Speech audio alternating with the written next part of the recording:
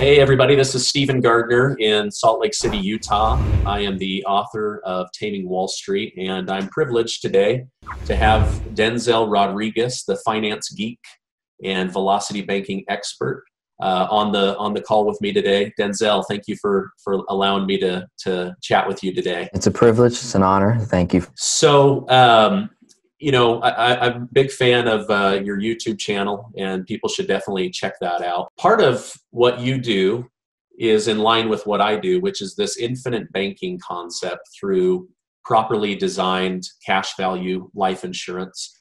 And so, as you've worked with uh, people over the years, uh, I know that you're an owner of this uh, as well as a, a teacher.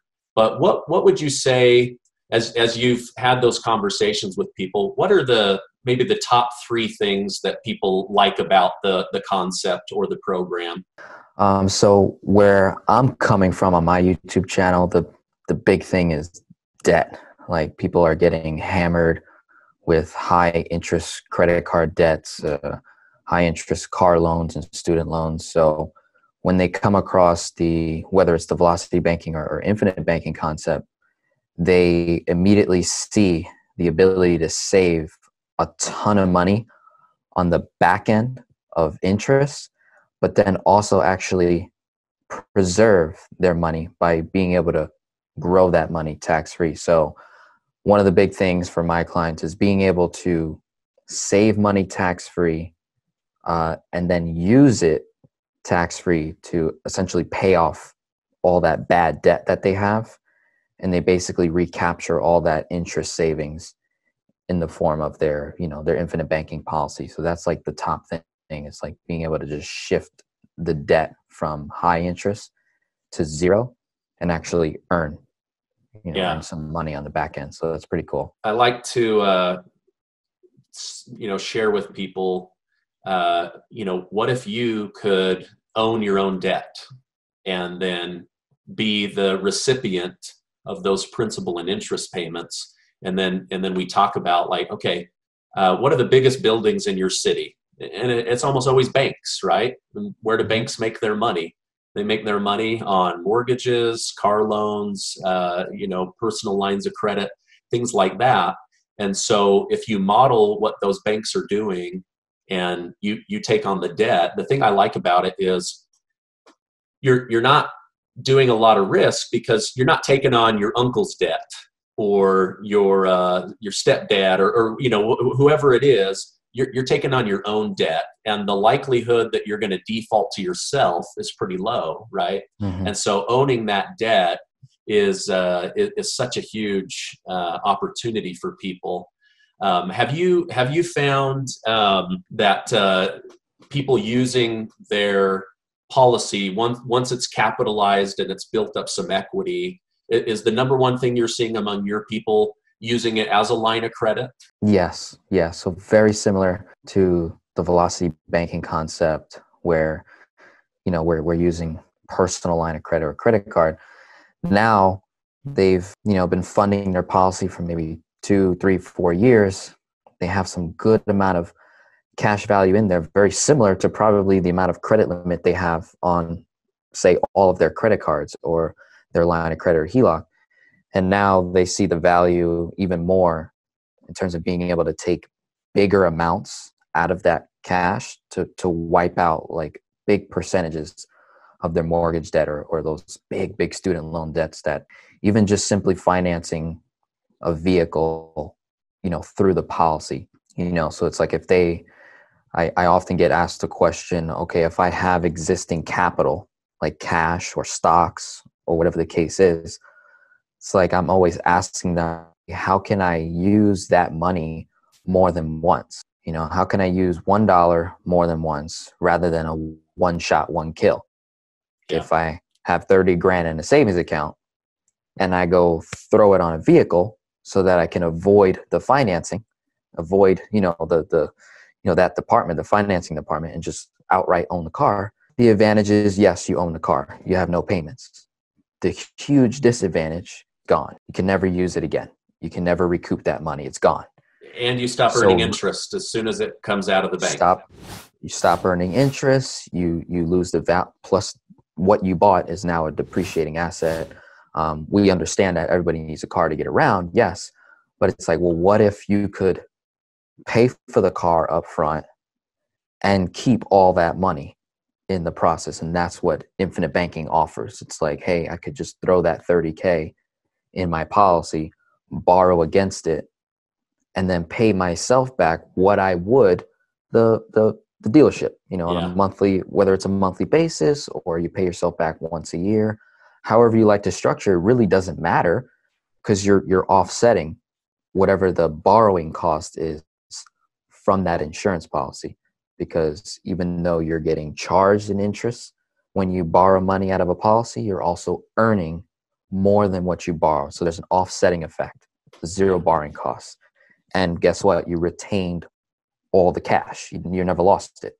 You know, yeah. Once a once once a dollar passes through cash value, that dollar will continue to increase. It'll never go down, and that's the that's the beauty behind all that. So, yeah, definitely using policies like a like a line of credit is very very effective. Yeah, you know, um, last week I was speaking with somebody and I had mentioned to them that a, a survey showed that the average baby boomer is retiring right now with less than $50,000. And, you know, I don't know the average person's circumstances, but I, I have to think like, okay, you had a 40, 45 year career and you've only got, you know, maybe a thousand dollars to show for every year that you worked. Um, and, and, then I think about like, okay, what, what if you just bought uh, like a, a 20 let's just say a, a $25,000 car, right? You, you buy that, you're able to recoup that, plus you're going to have a higher amount, right? As you just said.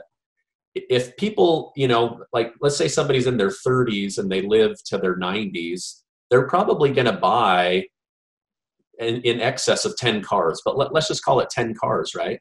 So you, you do that 10 times, 10 times 25,000, you would have a quarter of a million plus you know significantly more than that because of the interest you would probably have over 350000 and that's just controlling and owning the debt on cars right yeah. that that's not real estate or, or anything like that and so uh, you know those that are listening to this that's the power of what we're we're talking about is you know acting as the bank becoming wealthier like the bank um, you know it, it just ends up being such a powerful way uh, of growing money. But yeah, I mean, like when I I was in my early let's see, no, I was in my mid twenties when this concept uh, was first presented to me.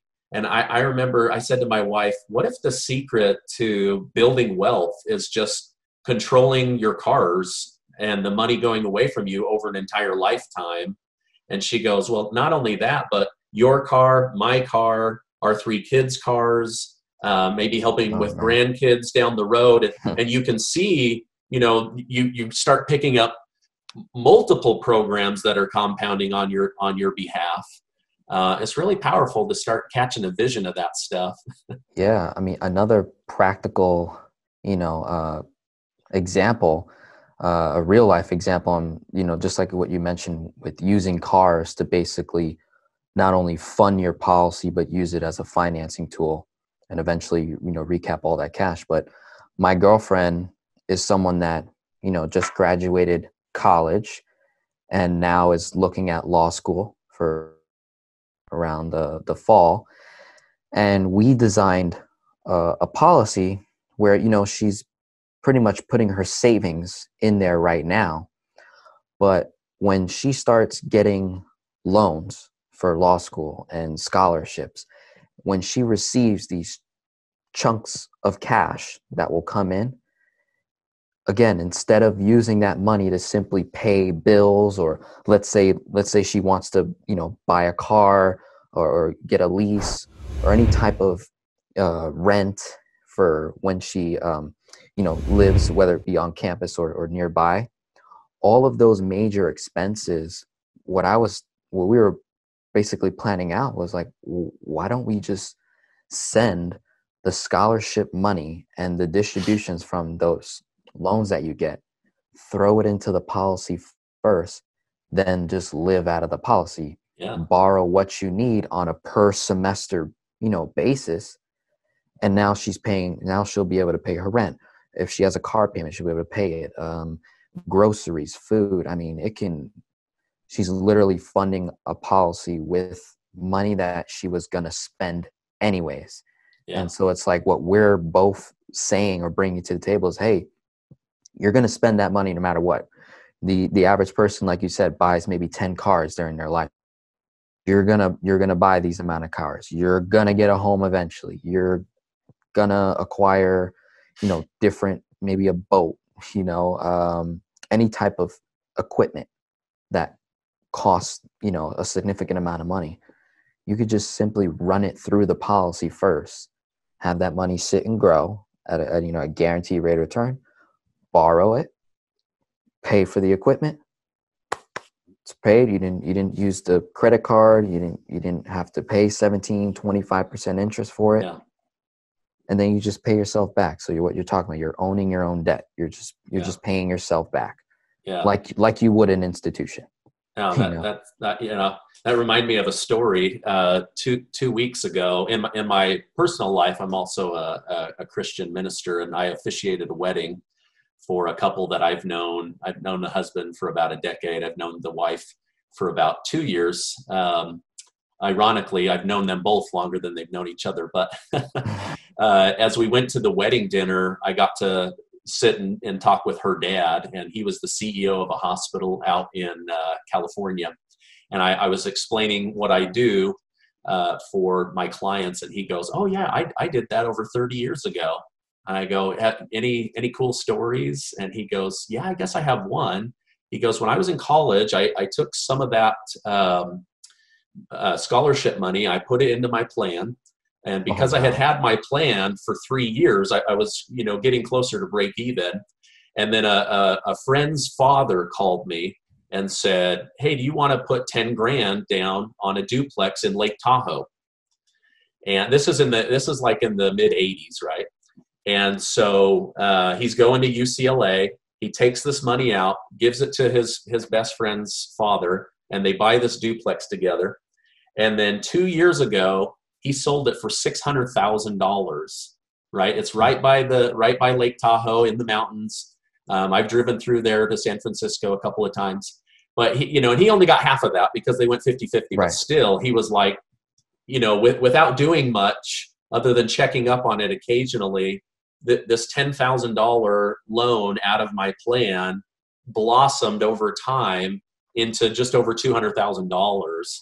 I was like, oh man, I love hearing those stories.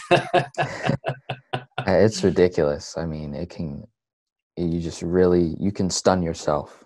Um, and it's what's also fascinating to me because I'm young is the fact of how the concept has been practiced. I think that's what fascinates me more than anything. It's like you know people are coming up with all different types of you know financial strategies to you know help improve their lives. But it's like this one's like the foundational rudimentary fundamental principle strategy and almost no one does it. Yeah. It's just it fascinates me how long it's been in the game you know? And yeah.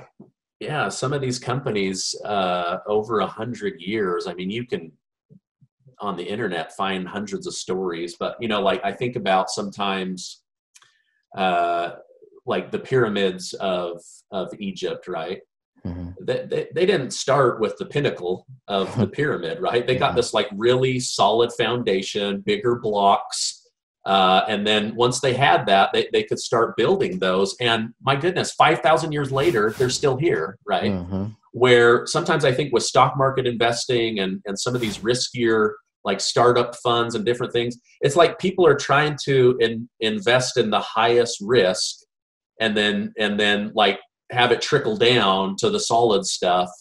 And you know, some of that I don't think is their fault. I think it's bad financial education. Um, it's also you know 12 years of really really ridiculously low interest rates at the bank and and so uh, like I, yesterday i was with um, a friend I, I, went to high school with and he owns two of these plans for over a decade now and just you know he was telling me no i you know i think i'll just take cash and buy the car and then I'll make the 539 payment back to myself at the bank. And I go, well, you've got a hundred grand in your plan. Why wouldn't you use your plan? He, he didn't understand the concept even after being in it for 10 years. And I said, why would you, why would you funnel money back to a bank account that's earning one tenth of a percent? And I said, the, the other thing is the, the majority of Americans uh, five or six years from now, they're going to want a new car. They're going to take from that fund and drop it and stop earning interest and, and start over. And he's like, Yeah, yeah, you're right. And I said, So why wouldn't you put that into something that's been averaging 5% or so uh, and doesn't have any tax on the growth? Instead of putting it into a, you know a, a really paltry, pitiful uh, bank, but then getting a 1099 for the interest every year. And and this light bulb went on, and he was like, oh man, I just I like I got to start using my money for my own benefit. I said, yes, take control of that. I, I'm not saying go do high risk things. I'm saying do things that you can control and have a predictable outcome on, but adds additional money to your bottom line and not of some banks. And it was really it was really fun to to see that that light bulb go on and and have that aha moment with him and his wife. Yeah, yeah, that's super cool. Love it. I, am sure you get that as you work with people uh, with their velocity banking debt reduction or, or as that, that concept crystallizes in their mind with the infinite banking program. Yeah, yeah. What, what I what I initially uh, try to get across in the very beginning is simply presenting that question. You know, can you currently, right now, in the situation that you're in, you know, without infinite banking, without velocity banking, can you currently use one dollar more than once. As soon as I can get past that that question where they can start thinking, well, can I? How? Okay, I that sense then now everything is gonna fall in place, you know. So it's that, you know, can you use one dollar more, more than once?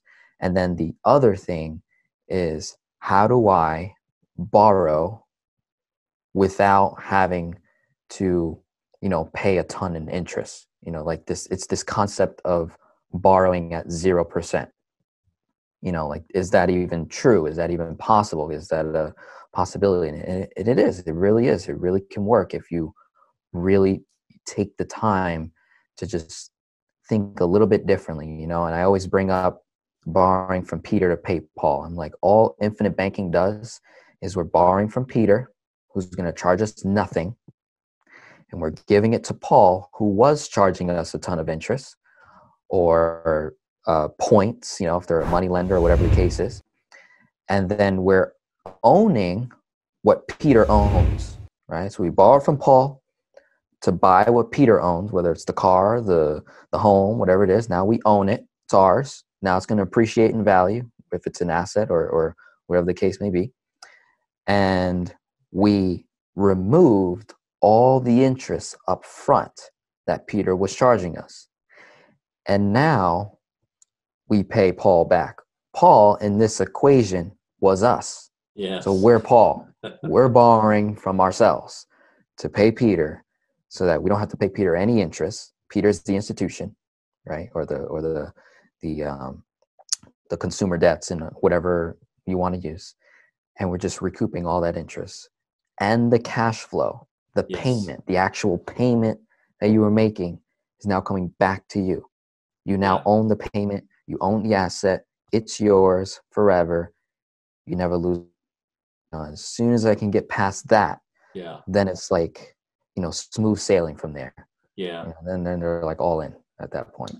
That that reminds me of uh, there's a part in my book Taming Wall Street, and I, I shared this because this is this is when the light bulb went off for me is the the gentleman showed how to do this on your own cars and and i was like oh my gosh i, I grasped the concept then he showed how it gets even better with real estate and i was like i'm mm. sure smoke was coming out of my ears and he goes once you see this you can't unsee it you would have to purposely ignore it right and then he goes have you ever noticed that in the fedex logo between the E and the X, there's a secret arrow that they put in there. And then he and then he put up a picture of FedEx and and there's that little arrow between the the E and the X, and I was like, oh my gosh. Now every time I see FedEx, I see the arrow first and then Mhm. the FedEx logo, right? Right. It's the same thing when I go to buy cars or, or show people. I want them to go, wait a minute. The bank has been advertising to me like crazy with the FedEx, but I've got the arrow that's going to move me forward, right? And, and and so I want I want that to get in people's minds every time they make that payment, right? You've got to make the payment to somebody. So if you're going to take money out of your pocket and hand it over to the bank, why not take money out of your pocket and put it in your other pocket, right? And, and own and control that debt. Yeah. it's it's it's powerful man it's it's exciting too it's really it's a lot of fun it's very rewarding uh, and there's a huge um, satisfaction from the from the customer from the client you know us as teachers and whoever we're working with whoever whoever's listening whoever decides you know who you whoever you want to work with it's like once you really start absorbing the concept and applying it you know there's there's really no losing from Yeah. there it's just it's just a matter of how you you know it goes back to financial management of course you know if, if i'm you know no concept i should say is you know bulletproof because it's really the the person Yeah. you know i could have the i can have the perfect policy set up and the perfect design and the best dividend the best company. I can have all of it. But if the person is not in line then they can destroy the policy. Yeah. you know, they can they can ruin it. Yeah not not uh, using it the way it's intended um, can have negative consequences right? Yeah Um, sure. why you know i have an opinion on this but i'm just kind of curious your thoughts and then we'll wrap this up. But why what do you think is the number one reason more people don't get involved in infinite banking? Um, I I want to compare it to I should say, like working out, or I also want to use the analogy of what Robert Kiyosaki uses on the cash flow quadrant, how 95 plus percent live on the E and the S side, you know, the they're employee or self-employed, and like 1% of the population are on the B and the I, business owner and an investor. That transition is probably the most difficult thing someone will do in their life is transition from a system to another system you know uh, it's i also want to use a biblical uh, reference with the story of how moses freed all those people from egypt. So they went from one system of bondage um, slavery and they were being tortured and killed and just horrendous stuff.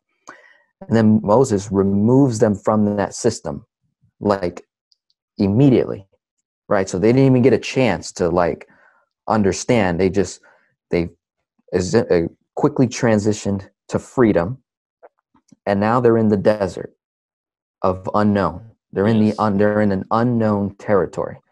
So it's just like infinite banking. People are in a system. Now they're on our youtube channel. They're in your uh, zone. They're seeing people like you and i talking a totally different language totally different environment a freedom environment a financially free environment they're in the desert they're in the unknown Yeah. most people think they want to flee back to their system yes so you can imagine these people that fled slavery, fled bondage, torture, women being raped, kids being killed at childbirth, whatever it was. And they told Moses, You sent us to the desert. There's no food, there's no water, no shelter. We want to go back. yeah Can you believe that? at least our bellies were full you know At least, right, at least we had uh, uh, some clothes and we had, you know, food and they were taking care of us. That is what the financial institution here in the United States has done to majority of the cultures that live here in the United States is you've been you know strapped down to this system Yeah. that everybody knows and then you've got that one Moses guy you got that Yeah. one person that is like slowly but surely transitioning people from one side to the other and i think that is a, a big reason why people don't make that transition, that jump over, because it takes a leap of faith. Yeah. It takes it takes risk, uncertainty, you know, and a, and a you know you have to have a level of faith to actually believe in a person like you and I, to you know see that see it come through. You know, Yeah. plant that plant that seed and watch it manifest and create the harvest. Yeah, no, that that's a that's a great analogy. I think um, it is. Uh, we've been, I don't, uh, maybe brainwash is is too aggressive, but we've definitely been conditioned to believe that banks have our best interest at heart. They're trying to get us the lowest rate or the best uh, growth rate, and at the end of the day, they're just looking out for their bottom line, and they make a ton of money off of a lot of people and they understand controlling that debt and that cash flow stream and we we, we you know we shouldn't be mad at them. We just need to mimic what they do. Uh, right. We we do not need to be mad at the system at all because just like infinite banking well in in the system of the banks we have velocity banking. So it's like i love the banks. They give me all the debt in the world that i could possibly want at any given time. They offer me 0% they offer me cash back. They offer me liquidity and usage and the ability to maximize my cash or economize my economy my own economy. And so i can't get mad at them because it's not like they only have one option.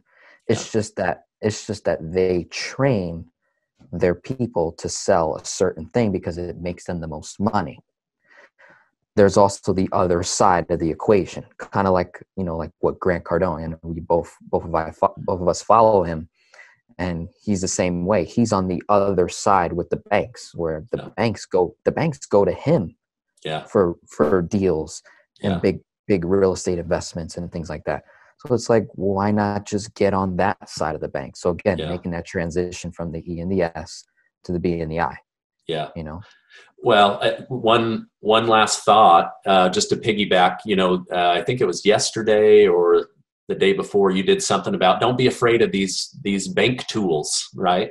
Just learn how to use them to your advantage. And what most people don't know is one of the greatest tools that banks have is these cash value life insurance plans. Uh, like Bank of America has over $19 billion in their tier one capital.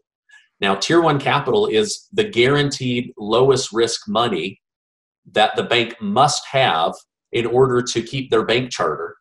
And, and these banks are buying billions and billions of dollars of this product. They're using it to their advantage. They're getting the tax advantages. They're getting the leveraged upside. And, uh, you know, but most people don't know that bank, even banks are doing what we're saying.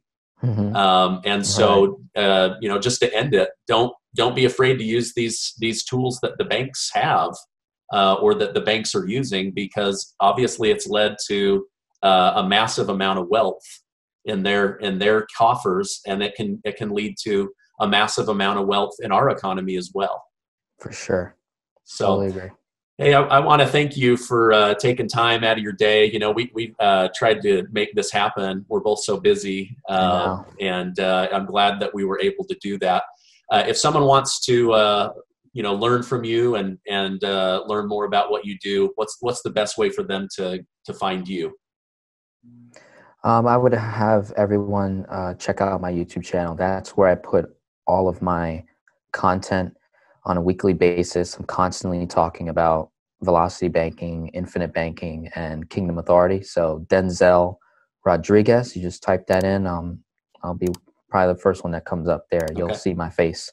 Yeah, yeah, that's that's how I came across it. So, uh, if anybody wants to learn more about what I do, I'm Stephen Gardner. You can check out my YouTube channel or go to yourbridgeplan.com. But thank you again, Denzel, for taking time to to speak to me about you know what we believe is a, a really powerful concept for uh, controlling our wealth, building our own kingdoms, and and getting ahead in life. So, thank you again for taking time. Thank you. God bless. Thanks. Bye bye. Bye.